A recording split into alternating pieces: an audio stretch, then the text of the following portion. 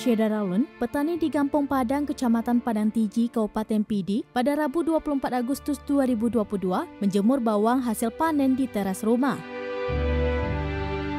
Panen kali ini para petani tidak gembira seiring turunnya harga bawang merah saat musim panen. Komoditi itu dijual petani ke penampung di Pasar Pantai Tengah Kecamatan Kota Sigli dari harga Rp17.000 hingga Rp18.000 per kilogram sedangkan bibit bawang merah dibeli di pasar Rp80.000 per kilogram. Harga bawang merah seharusnya dijual Rp20.000 hingga Rp22.000 per kilogram. Petani mengaku sedih saat musim panen bawang tahun ini akibat turunnya harga jual bawang. Mereka berharap perhatian dari pemerintah yang seharusnya hadir ketika harga bawang merah turun saat panen. Dari PD, Muhammad Nazar, Serambion TV.